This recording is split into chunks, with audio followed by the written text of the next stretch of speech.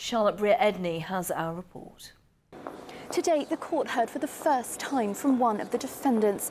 19-year-old Henry Long was driving the car behind which PC Harper became entangled in a tow rope and died. So how long is this going to last? Well, the protests at depots causing the backlog in fuel deliveries could be resolved quite quickly. But it's the international situation that's much harder to predict. Russia provides around 20% of the UK and Europe's diesel supplies. But as countries simultaneously trying to wean themselves off Russian energy. There's simply an imbalance between supply and demand. Charlotte, take us through what happened there.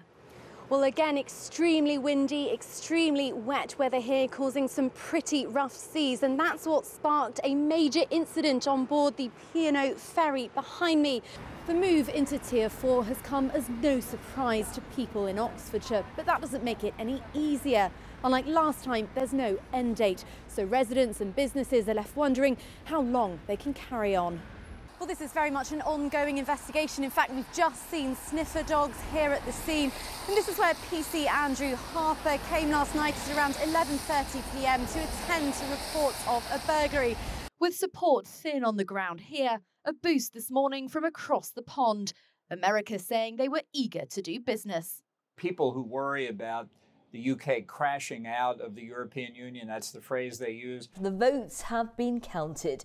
Charlotte Briere-Edney is in Reading. Charlotte, what are the locals saying tonight? Well, Sangeeta, as you'd expect, some very mixed views here in Reading.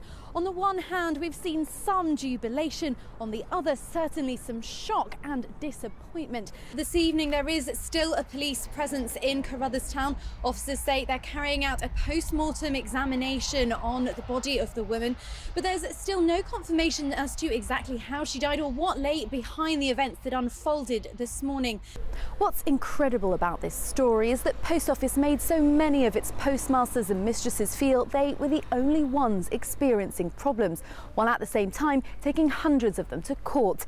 Even now, no one at Post Office has been held to account. Well, this is the third protest in as many weeks here in Oxford, specifically about racial issues.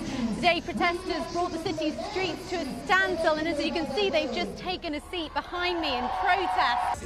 Charlotte Briere-Edney is having all the fun at the fair. Charlotte.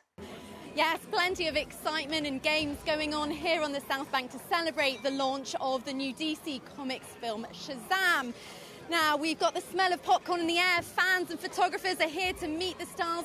But why, I hear you ask, a fun fair? Well, to tell us none other than the hero and the villain themselves. Zach, oh Mark! This is so weird hey, that we would all find each other right here. here. Wow! Amazing. All through the morning, more and more visitors have been arriving here. There's a sign in the car park to say the queue to get in is more than two and a half hours long, but that's not putting people off. Some have come all the way from Wales to experience this. Well, that's it from the weekend team. We're back with Good Morning Britain tomorrow from 6am. Do have a lovely evening. Bye bye.